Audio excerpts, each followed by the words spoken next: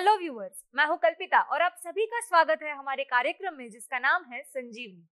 दोस्तों आज के एपिसोड में हम किडनी स्टोन और किडनी डायलिसिस के बारे में विस्तार से जानकारी लेंगे। ये जानकारी हमें देने के लिए हमारे साथ हमारे स्टूडियो में मौजूद है नेफ्रोलॉजिस्ट डॉक्टर संदीप भुरके जी। तो चलिए उनका स्वागत करते हैं। Welcome doctor Sandeep. आपका हमारे संजीवनी के मंच पर बहुत बहुत स्वागत है। नमस्ते। डॉक्टर मैं आपसे ये जानना चाहूँगी कि कई बार हमें ऐसा होता है कि हमारे पेट में दर्द शुरू होता है, हम डॉक्टर के पास जाते हैं और हमें पता चलता है कि हमें बहुत बड़ी पथरी हुई है। तो क्या ये संभव है कि हमें बिना दर्द हुए भी इतनी बड़ी पथरी हो सकती है? हाँ ये संभव है, क्योंकि जैसे दिल का, दिल की धड़कन रहती है, वैसे किडनी की कोई धड़कन नहीं रहती। और जो पथरी है वो पहले किडनी के मांस में रहती है गुर्दे के मांस में रहती है और फिर वो बाद में सरक कर नीचे आकर यूरेटर यानी जो पाइप है ऊपर से नीचे पेशाब की थैली तक जाता है हम्म। उसमें आता है तो वो जब यूरेटर के अंदर किडनी की पथरी घूमती है सरकती है नीचे तभी हमें दर्द होता है हम्म। और अगर वो मांस में फंसी हुई है ऊपर गुर्दे के मांस में तो वो बड़ी हो सकती है तीन सेंटीमीटर चार सेंटीमीटर छह सेंटीमीटर ऐसे भी बड़ी पथरी रहती है क्योंकि वो हिलती नहीं है इसलिए वो दर्द नहीं देती है। जी। तो ये संभव है कि आपको पहली बार दर्द हुआ और उसमें छोटी नहीं बल्कि बड़ी पथरी आपको मिल गई ये संभावना हो सकती है। अगर आपको किडनी की पथरी की वजह से कोई इन्फेक्शन हो जाए यूरिन में बैक्टीरिया ज़्यादा आ जाए और यूरिन इन्फेक्शन हो जाए। तो फिर उसकी वजह से भी आपको पेट में दर्द और इन्फेक्शन का दर्द हो सकता है। जी डॉक्टर डॉक्टर ये जो पथरी हो जाती है उसके लिए आप कौन कौन से इलाज सजेस्ट करते हैं? तो सबसे पहले तो इंडिया और Pakistan are gifted with stones by God तो हम हैं पूरे दुनिया का स्टोन बेल्ट यानी सबसे ज़्यादा पथरी गुर्दे में हमारे इंडिया और पाकिस्तान के लोगों को है मर्द औरत दोनों को। जी। तो इसकी वजह से कहते हैं कि जेनेटिकली हम सब कॉन्टिनेंट इंडिया के भारतीय वासी होने की वजह से वो हमको ज़्यादा है। हम्म। इसका कोई प्रूफ नहीं मिला अभी तक कि कोई खाने की वजह से है या इधर की पानी की वजह से है। ये सब अभी भी रिसर्च और जाँच का चल रहा है। लेकिन जो पथरी होती है उसके कारण कम पानी पीना और क्षार ज़्यादा होना पानी में हम्म। हार्ड वाटर ये एक कहा जाता है। जी। तो सबसे पहले जब आपको पता चल जाए कि आपको गुर्दे की पथरी है ये पित्त की थैली का पथरी नहीं है। मैं गुर्दे की थैली गुर्दे की पथरी की बात कर रहा हूँ तो उसमें सबसे पहले हमें पानी सबसे ज़्यादा पीना है। चार लीटर पाँच लीटर दिन का पीना है कि जिसके हिसाब से जो क्रिस्टल है छोटे छोटे पथरी अंदर है। वो बाहर निकल जाए स्फटिक जो बोलते हैं क्रिस्टल्स वो बाहर निकल जाए और नई नई पथरी बनना कम हो जाए अगर आपकी पथरी दो मिलीमीटर चार मिलीमीटर यानी आधे सेंटीमीटर से कम हो तो उसके लिए हम उनको पथरी को डिजोल्व करने वाली क्रिस्टल को डिजोल्व करने वाली दवाइयाँ देते हैं जिसमें हम्म। साइट्रेट नाम का केमिकल होता है यानी क्षार होता है हम्म। नमक की तरह दवाई नहीं कहेंगे उसको डिजोल्विंग वाला और उसके बाद में हम अगर वो पाँच मिलीमीटर यानी आधा सेंटीमीटर से ऊपर है एक सेंटीमीटर से ऊपर है तो हम उसको अगर वो चोकअप नहीं कर रहा है तो फिर हम उसको लेजर ई या अलग अलग प्रकार के तरीकों से ठीक करा सकते हैं उसका पाउडर बन करके वो पेशाब की जगह से बाहर निकल जाता है जी अगर वो चोकअप कर रहा है और हम्म। उसकी वजह से पेशाब ऊपर फंस कर किडनी एक गुब्बारे की तरह फूल कर पतली हो रही है यानी हम्म। किडनी के ऊपर तकलीफ़ हो रही है डैमेज हो रहा है तो फिर उसको यूरोलॉजिस्ट डॉक्टर जो रहते हैं वो पेशाब की थैली से उनको दूरबीन डालकर उस पथरी को पकड़कर नीचे डालते हैं और एक स्प्रिंग डालते हैं उसको डबल जे डीजे स्टेंट कहते हैं। तो इसके हिसाब से जो सूजन है अंदर का पेशाब की यूरेटर में वो कम हो जाता है और फिर तीन हफ़्ते के बाद में वो डीजे स्टेंट निकाला जाता है। जी। डॉक्टर अगर हमें पथरी हो गई है हमने इलाज भी करवा लिया और वो पथरी निकल भी गई लेकिन क्या ये संभव है कि उसी जगह पे वापस पथरी हो सकती है? जैसे मैंने आपको कहा कि we are the stone belt of the world हमें भगवान ने गिफ्ट दिया है भारतवर्ष में स्टोन का तो अगर एक बार पथरी हो जाए तो उसको रिकरेंट स्टोन फॉर्मर कहते हैं कि बार बार पथरी होना संभव है हम्म। इसकी वजह से उसको कम मात्रा में हो जाए इसके लिए हम पानी ज़्यादा पीना उपवास नहीं करना हम्म। और अगर वो पथरी का जाँच हुआ है और पता है कि यूरिक एसिड का पथरी है तो उसका दवा अलग है कैल्शियम की पथरी है तो फिर उसका दवा अलग है ऐसे मामूली दवाइयाँ उसकी है वो सब चालू रखना है और सबसे महत्वपूर्ण चीज़ कि हर साल में आप जनवरी में सोनोग्राफी कीजिए कि अंदर से कोई साइलेंट स्टोन नहीं है। और अगर वो साइलेंट स्टोन है जो छोटा है तो उसकी दवाइयाँ और बढ़ा सकते हैं अगर बड़ा है तो वापस से लेजर या डीजे स्टैंड वगैरह ट्रीटमेंट लग सकता है। जी डॉक्टर अभी आपने कहा कि जनवरी में हमें जाँच करना ज़रूरी होता है तो मैं आपसे यही पूछना चाहूँगी कि कई बार हमें कहा जाता है कि किडनी की कोई प्रॉब्लम हो तो बार बार हमें डॉक्टर के पास चेकअप करवाना पड़ता है तो ये चेकअप क्यों करवाना पड़ता है? इसकी क्या ज़रूरत होती है? जैसे कि दिल को दिल की धड़कन है किडनी को कोई धड़कन नहीं है तो अंदरूनी उसका क्या तकलीफ़ है वो कभी पता नहीं चलेगा।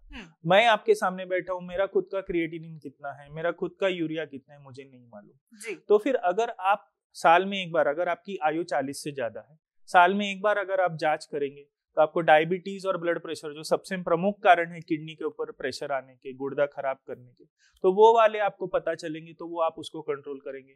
अगर आपका क्रिएटिन थोड़ा ज़्यादा है आप, आपका कैल्शियम फॉस्फोरस यूरिक एसिड में कोई तकलीफ़ है ब्लड के रिपोर्ट में तो उसको आप ठीक करेंगे।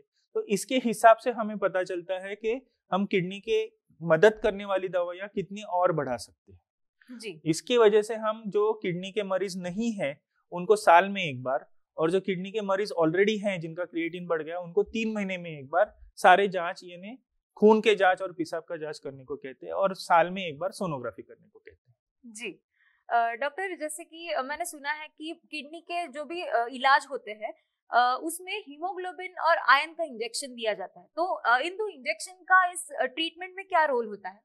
जब भी हमारे गुर्दे किडनी है वो सिग्नल देते हैं बोन मैरो को उसके बाद में हीमोग्लोबिन तैयार होता है वो सिग्नल का नाम है एरिथ्रोपोइटिन हम्म। तो एरिथ्रोपोइटिन जब हमारी किडनी कमज़ोर होती है तो बनती कम है हम्म। इसकी वजह से फिर खून की मात्रा शरीर में कम हो जाती है। हीमोग्लोबिन कम हो जाता है तो जब हम कोई खून का मरीज़ किडनी का मरीज़ देखते हैं उसको हमें ये खून का इंजेक्शन देने की ज़रूरत पड़ जाती है जब भी हीमोग्लोबिन 10 से नीचे जाए तभी ऐसे पेशेंट में मरीज़ में हम सबसे पहले आयन यानी लोहे का इंजेक्शन देते हैं कि हम्म। जिससे जो एक कैपेसिटी है खून तैयार करने की वो सबसे पहले बरकरार रहे और उसके बाद में एरिथ्रोपोइटिन उस पर काम करे। जी।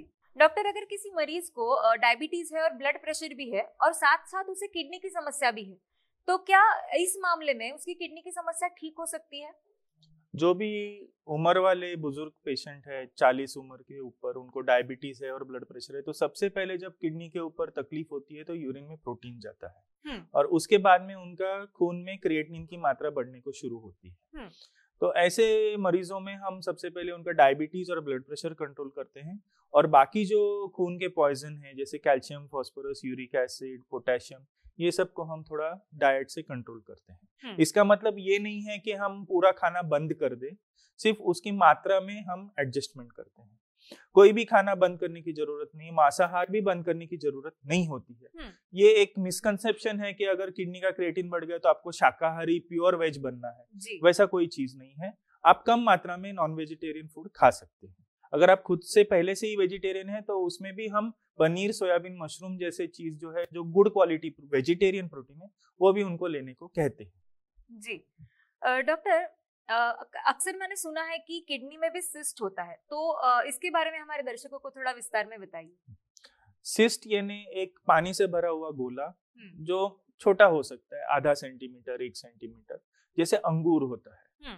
तो ये अपने शरीर में अलग अलग जगह पे हो सकता है। ओवरीज में हो सकता है उसको पीसीओडी कहते हैं किडनी में हो सकता है उसको रीनल सिस्ट बोलते हैं। लिवर में हो सकता है उसको लिवर सिस्ट बोलते हैं।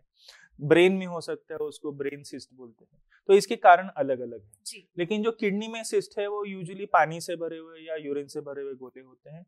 तो ये डीजेनरेटिव डिज़ीज़ कहते हैं यानी उम्र के हिसाब से हो सकते हैं उसको सिंपल हम्म। सिस्ट कहते हैं। हम्म। और अगर वो कॉम्प्लिकेटेड सिस्ट है कि उसमें अंदर विभाजन है और अंदर पस भर गया है तो वो ट्यूबरकुलोसिस हो सकता है या फिर यूरिन इन्फेक्शन पस हो सकता है हम्म। और बहुत ही रेयर रीजन में वो कैंसर हो सकता है अच्छा। तो जब भी हम कोई सिस्ट किडनी में देखते हैं तो उसको हम नजरअंदाज तो नहीं करते लेकिन एक बार हम सीटी स्कैन करके देखते हैं अगर वो सिंपल सिस्ट है तो उसके लिए बहुत ज़्यादा ट्रीटमेंट कुछ है नहीं, वो एक डेवलपमेंटल डिजेनरेटिव डिज़ीज़ है, उसके लिए कुछ किया नहीं जा सकता, वो सिर्फ़ एक सिंपल चीज़ है, उसके लिए कुछ नहीं करते लेकिन अगर उसमें हमें लगे कि इन्फेक्शन है या कैंसर है तो उसका स्पेशल जाँच करके हम बाद में उसका कोई इलाज हो सकता है कि नहीं, वो देखते जी। डॉक्टर अगर किसी मरीज़ को ये सिस्ट हो जाए तो ऐसे कौन से सिम्टम्स उसे दिखाई देते हैं और वो कब बॉडी उसे इंडिकेट करती है कि उसे डॉक्टर के पास जाना चाहिए? जो सिस्ट होते हैं वो एक हाथ दूसरा अगर बॉडी में किडनी में हो गुर्दे में हो तो वो कभी तकलीफ़ देता नहीं है हम्म। कोई दूसरे कारणवश अगर आप सोनोग्राफी करें तो फिर आपको सिटी स्कैन करे तो आपको शायद पता चले कि किडनी के अंदर सिस्ट है हम्म। तो इसमें यूजुअली कोई तकलीफ़ वाला का बात नहीं रहता है लेकिन एक बीमारी है जो एडीपीकेडी कहते हैं adult onset polycystic kidney disease तो इसमें हमारी किडनी के सिस्ट बढ़ते जाते हैं और हम्म। बहुत सारे सिस्ट होकर किडनी खोखला हो जाता है ये एक जेनेटिक डिसीज है। आज तक उसके कारण हमें कोई दवाई मिली नहीं है। उसको हेल्प करने वाली थोड़ी दवाइयाँ हैं लेकिन क्यूरेटिव आज तक कुछ भी मिली नहीं है। तो एडीपीकेडी का सिस्ट अगर रहेंगे बहुत सारे तो फिर हमें उनका फैमिली स्क्रीनिंग करना पड़ता है। यानी उनके सगे भाई बहन और माँ बाप और बच्चे हम्म, इनका भी सोनोग्राफी किया जाता है कि बिना अनजान में उनका कोई अंदर से सिस्ट है कि नहीं। जी। लेकिन आज तक कोई दवाई नहीं जी। डॉक्टर अक्सर हमें यूरिन इन्फेक्शन भी हो जाता है तो क्या ये यूरिन इन्फेक्शन किडनी से रिलेटेड है और किन वजहों से ये यूरिन इन्फेक्शन होता है? जो यूरिन इन्फेक्शन यानी संक्रमण कहते हैं जी।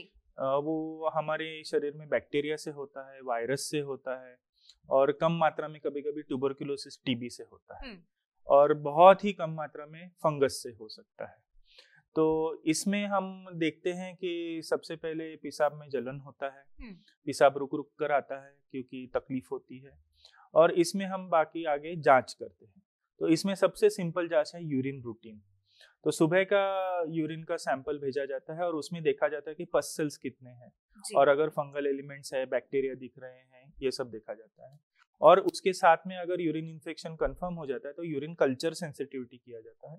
इसमें हम कौन से प्रकार के बैक्टीरिया या फंगस है ये चेक कर सकते हैं। तो इसके हिसाब से हमें और भी जाँच करनी पड़ती है। इसमें हम डायबिटीज़ है एचआईवी पॉजिटिव है सीरो हम्म। पॉजिटिव है या फिर वो कोई दवाई पर है जिसकी वजह से शरीर की इम्यूनिटी कम है जैसे कोई अस्थमा के लिए स्टीरॉयड पर है किडनी डिज़ीज़ के लिए खुद स्टीरॉयड पर है ट्रांसप्लांट पेशेंट स्टीरॉयड पर रहते हैं इम्यूनोसप्रेसिव ड्रग्स पर रहते हैं। इसकी वजह से उनके शरीर में इम्यूनिटी कम है तो फिर बैक्टीरिया का फाइटिंग पावर कम होकर हमें इन्फेक्शन हो जाता है। जी। इसमें और एक जाँच की जाती है पुरुष में पौरुष ग्रंथि प्रोस्टेट की। हम्म, ये पौरुष ग्रंथि फूल जाती है उम्र के बाद में और उसके पीछे यूरिन चोकअप हो जाती है। हम्म, तो इसमें सोनोग्राफी में pre void post void residue और प्रोस्टेट का साइज़ देखा जाता है। और फिर इसके हिसाब से अगर प्रोस्टेट का कुछ ट्रीटमेंट करना है तो वो किया जाता है। जी। अगर कोई मैरिड पर्सन है तो फिर उनका जो पार्टनर है उनमें अगर यूरिन इन्फेक्शन है तो फिर वो पार्टनर से उनको यूरिन इन्फेक्शन मिल सकता है। तो फिर ऐसे व्यक्ति में हम उनके पार्टनर का भी यूरिन रूटीन कल्चर और सोनोग्राफी करने को कहते हैं जिसमें प्रीवर्ड और पोस्टवर्ड रेसिड्यू भी किया जाता है। जी। डॉक्टर बहुत ही अच्छी जानकारी दे रहे हैं आप। हम आपसे ऐसे ही सवाल पूछेंगे आपसे ऐसी ही जानकारी चाहेंगे लेकिन एक छोटे से ब्रेक के बाद। नमस्ते। दोस्तों, किडनी के बारे में, किडनी की समस्याओं के बारे में ये चर्चा ऐसी ही जारी रहेगी, लेकिन एक छोटे से ब्रेक के बाद।